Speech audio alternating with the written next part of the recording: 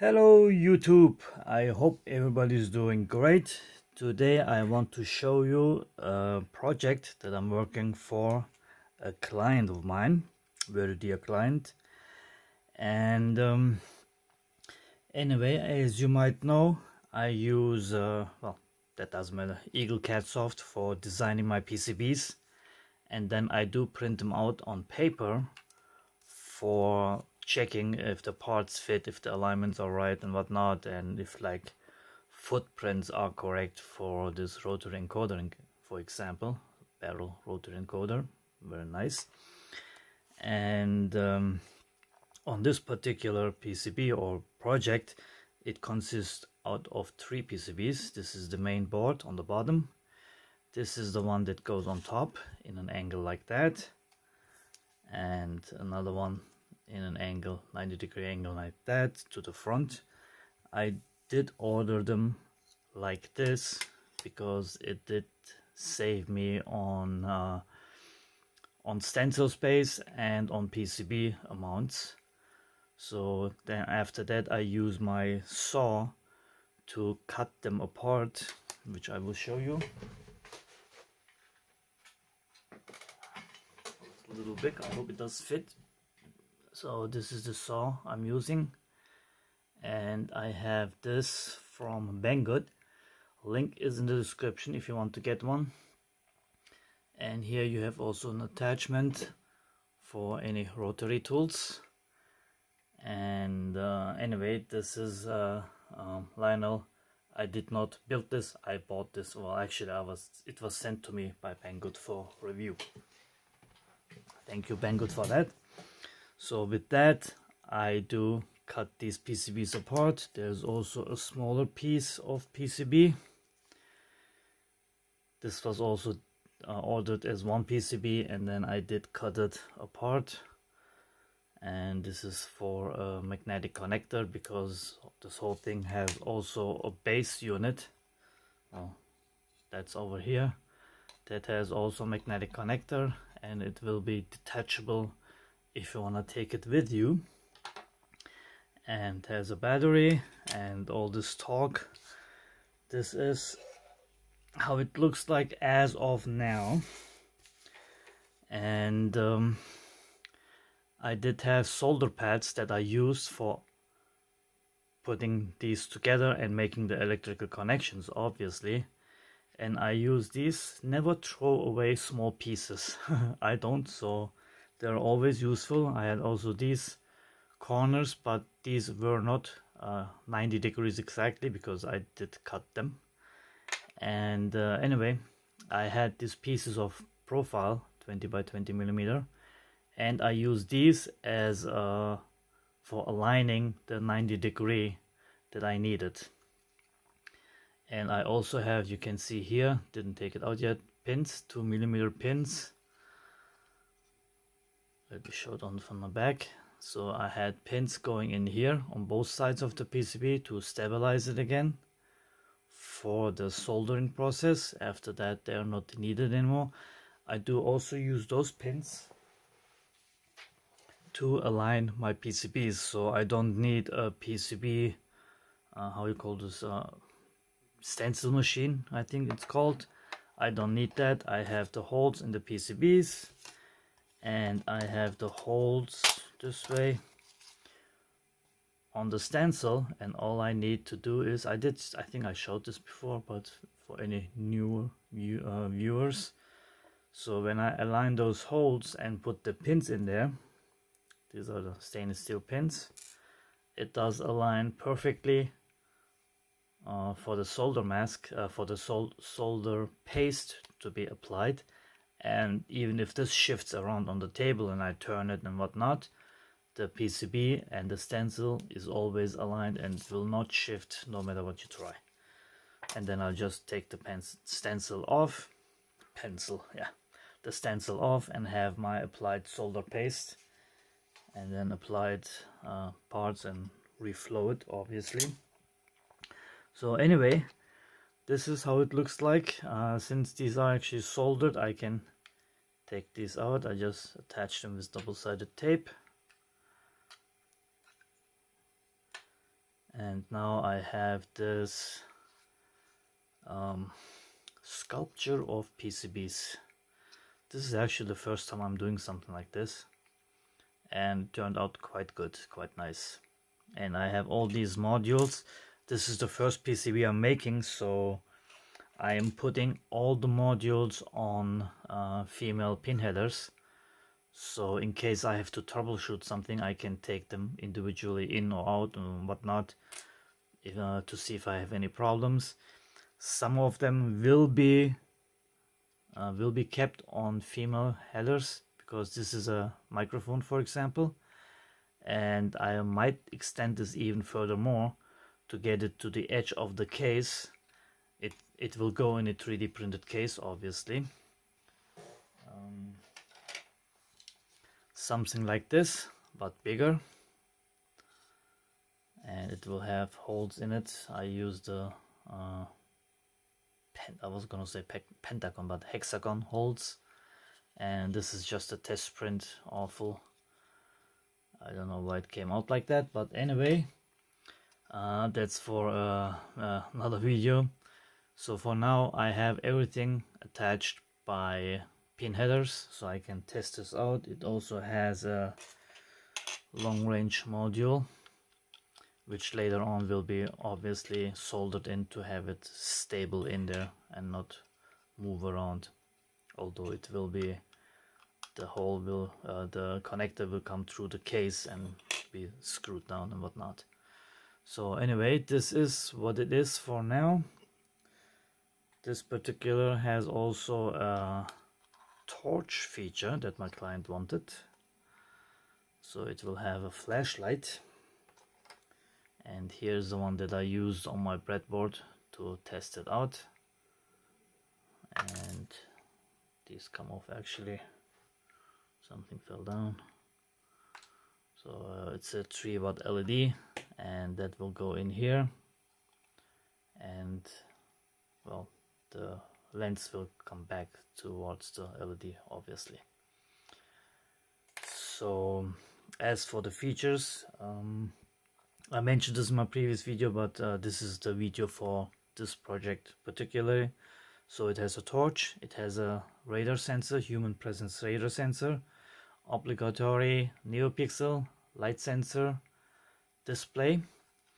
On the top we have the rotary encoder. Here will it will have a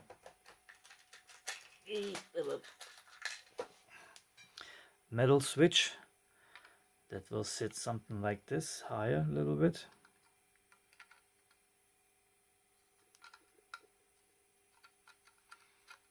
Why doesn't this fit through here do you want it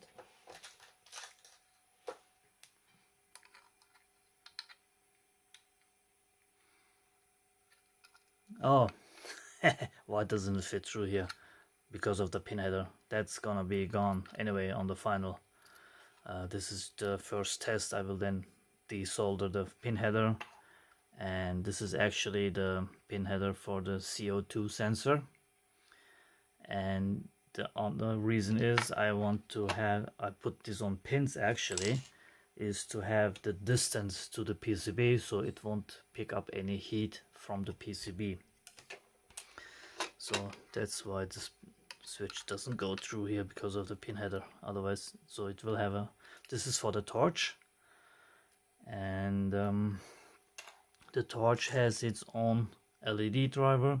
Again I decided to do it like this with um, by using modules because of the heat dissipation so I didn't want to put this on the PCB itself other sensors like the ADXL345 accelerometer sensor is directly on the PCB because it does not generate any heat.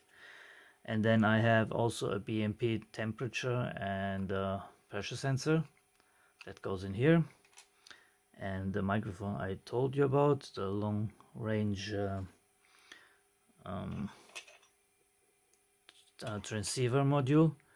And I also have an amplifier for a small speaker that it will get. So this whole thing could be used as web radio or whatever output sound output you need. So that's that. And um, oh up here I have also a time of flight sensor. And the client just wanted to get all the sensors I could find in here.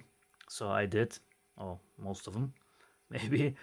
So we have a time of flight sensor that will go up here again. And the pin header for here is to get it in line with the PCB case later on. So it will sit nice and flush uh, in the case. We have a GPS module, on off switch, heavy duty on off switch and uh, here's the reset button that will get a small hole from the top in case he has to reset the um, ESP32S3 module that I'm using. And uh, type C connector, a LiPo battery with the charger obviously and um, it will also have wireless charging capability. So when he so this is a, essentially a two-in-one product. Well more than two-in-one but this is the base station that will stay at home with the pogo pin on the here and on here like I showed you with this PCB and then he can just unclip it and take it with him to his office or wherever he wants to and um, use it there for data collecting environmental data or whatever he wants to do with it. Time stock. I mean you know with esp32 you have bluetooth and wi-fi capability and can do whatever you wish for it. And I am this is for my client and I first had this idea many many years back about the small cube and back then I wanted to use a PR PIR sensor the heat sensors for a small device that you can put in your room and then like an alarm you get notified if somebody goes in there or not. So this is my version of that. And this just coincidentally does more or less the same thing. So I will have a small the same display and the human presence sensor which should be on the table somewhere maybe not.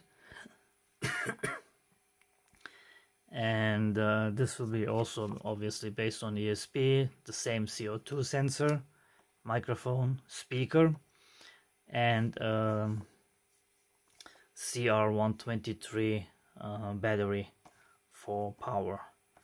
And this will be just a small unit and actually that case that I showed you that one was uh, just a design for that so this will go in like that. It will obviously have the rest of the case. And here I printed it in white but had some uh, filament sneak in here. So this would how it would look like uh, look like in white so on this version obviously I have also well you can see it because on here it's just the front side. Um, it will have again solder uh, points to attach the front in a 90 degree angle. So anyway this will be my project that I will have to finish and I will sell my own and this one will go to my customer obviously after they're finished so I just wanted to actually show you how I did align the PCBs by using these uh, aluminum profiles because I do have actually uh, I forgot the name for this but uh, this just doesn't didn't fit anywhere and would obviously fall over and whatnot. Uh, with these I could just stick them on here. Double-sided tape and then have it nicely aligned. Otherwise you need four hands to do stuff like this. So anyway this is it for today's uh, video or segment. I don't know if I'm gonna upload these separate or put them all together in one video. Probably do it separate because it's gonna be too long if I put them all in in, uh, in one video. Anyway this is it. And if you want to see the rest of this please do subscribe to my channel hit the notification bell and um, you can support me by just liking the video or hitting the thanks button or the super button below the video or buy me a cup of coffee through PayPal or check out my Tindie store. You can check out my links in the description for the saw, for example. It's really useful for cutting edges of PCBs and or whatever else you want. And um, yes, this is it. Thanks for watching and take care, everybody.